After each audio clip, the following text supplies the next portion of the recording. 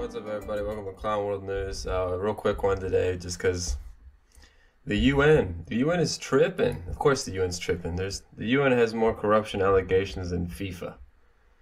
The hashtag COVID nineteen pandemic is demonstrating what we all know. We all know this. Remember, we all know this. Millennia of patriarchy have resulted in a male-dominated world with a male-dominated culture which damages everyone women, men, girls, and boys. This is the time to rebuild more equal, inclusive, and resilient societies, said UN Security General Antonio Guterres.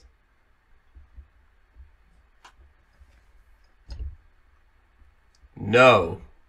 Fuck you. I think that's silly. That the the COVID nineteen first of all, the, the, the COVID nineteen pandemic demonstrated that that we live in a patriarchy. Uh, press X to doubt. If anything, the COVID nineteen pandemic has demonstrated that there are forces at work here who would love to dominate and control and suppress the entire world. Whether they are all male, I you know I don't know. If they're all male, why were they working with Hillary? If they're all male, how come Marina Abramovich and Lady Gaga is a part of them? I don't I don't understand. I mean, I guess I understand. Well, it is funny if you check out these comments. Maybe it's like Twitter is catered to me, so it's like it's showing me comments that it thinks I would like.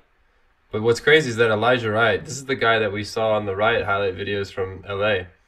They seek to eliminate medical autonomy by forced vaccinations, freedom of exchange by creating a cashless society, and ridicule American nationalism, traditionalism, while they propose a nihilistic one world government. We stand in their way and they won't win. Trump 2020. Defund the UN. Defund the UN. Thank you for admitting there are only two genders. Ow! Gotti! In a male dominated world with a male dominated culture which damages everyone women, men, girls, and boys. Only two genders there, UN. Shit, I could have swore you guys were all about the like. There's more genders than there are Pokemon.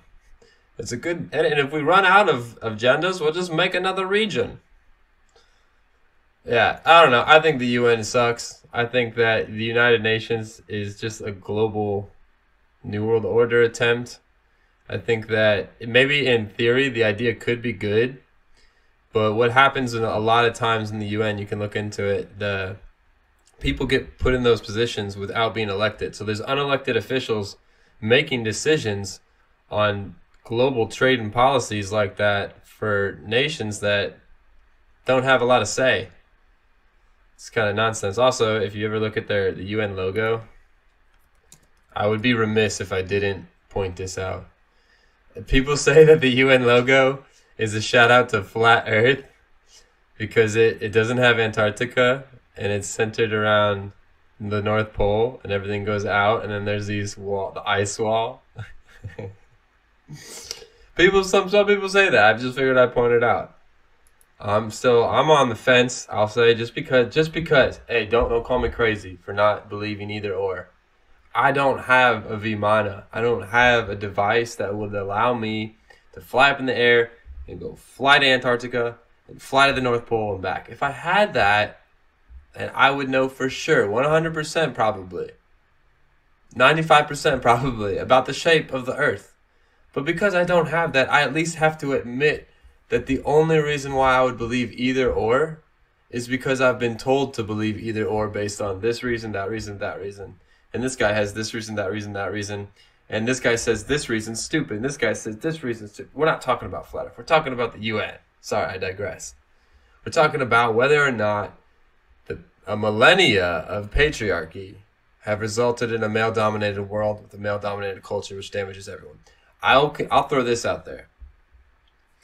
If time if the timeline is official, like what we've been told, you know, if we have caveman slowly build, make figure out agriculture, slowly build, you know, cities build, tribes, cities, states, empires, etc., etc.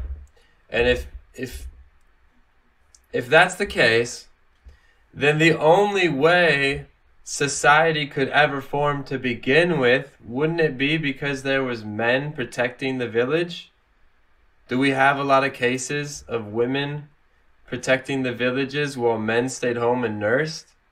The only reason why we have this sort of, uh, you call it a luxury of people perhaps being, you could say, uh, the different sexual orientations, why we have the luxury of, of men staying at home and women going to work, things like this, is because we've advanced technology to a point where we can supersede our natural biological limitations.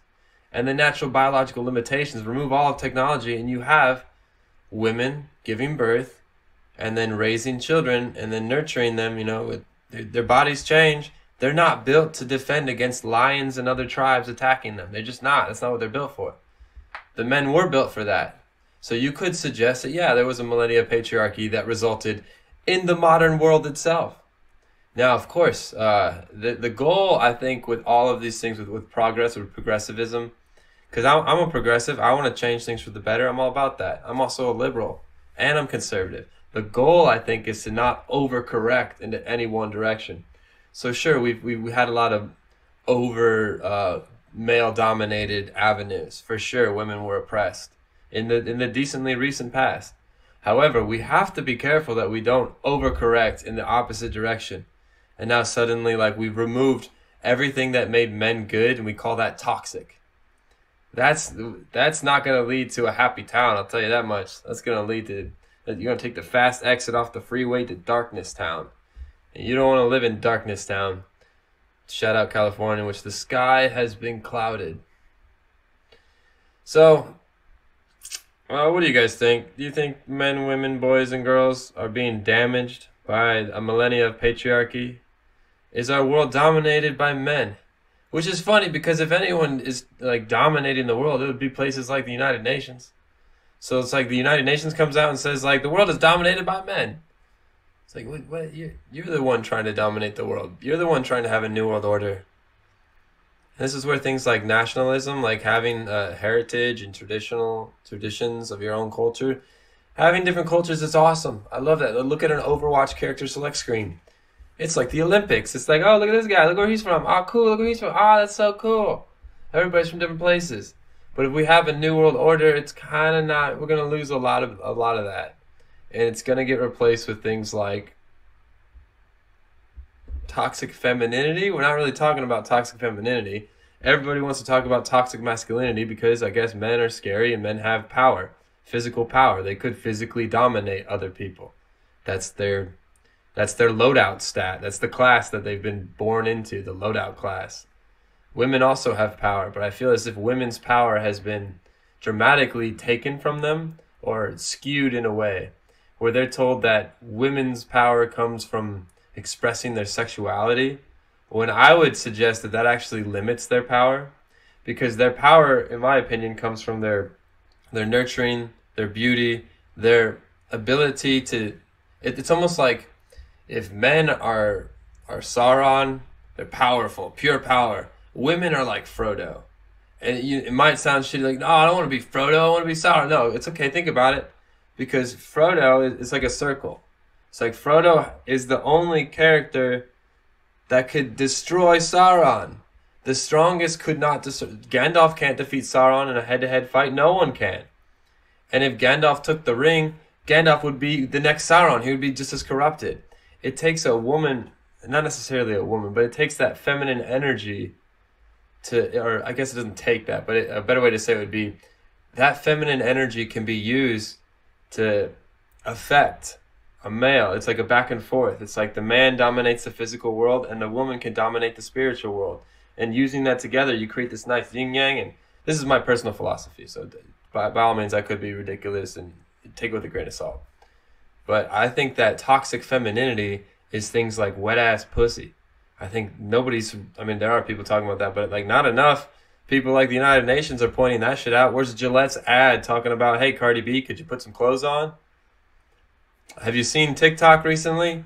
You, it's sad. Like literally, I, I would be afraid to get TikTok just because of how much blatant softcore child pornography exists on there, child exploitation. It's insane.